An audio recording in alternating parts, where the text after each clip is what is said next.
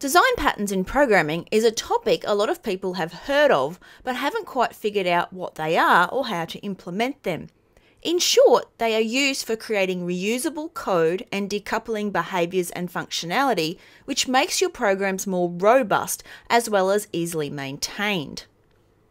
Hi, I'm Dr. Penny de Byl. I've been teaching games programming and design for over 25 years. I've also worked at putting game engines together, so I know the kind of work involved.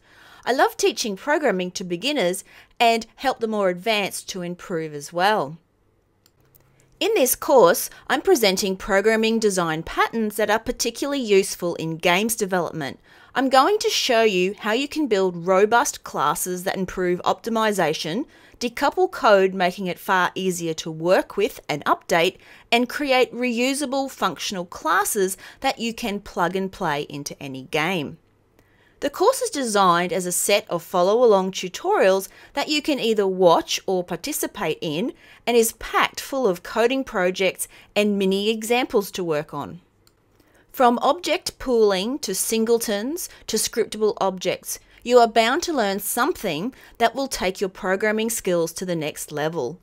All you need is a copy of Unity and you are set to go, with all starter projects and game assets available with each lecture.